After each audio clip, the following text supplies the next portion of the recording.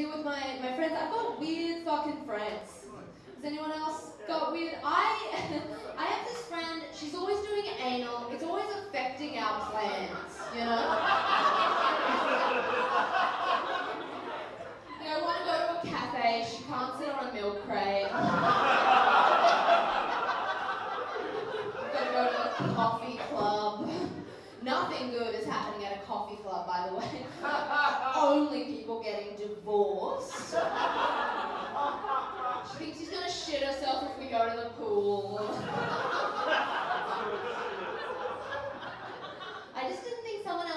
asshole was going to affect my life this much. and I guess this is growing up. Uh,